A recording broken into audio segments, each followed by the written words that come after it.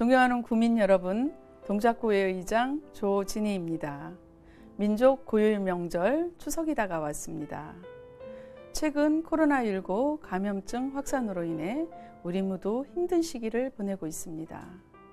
이번 추석은 더도 말고 덜도 말고 건강이 최우선이라는 마음으로 연휴 기간에도 안전수칙을 잘 지켜 건강한 명절 보내시기 바랍니다.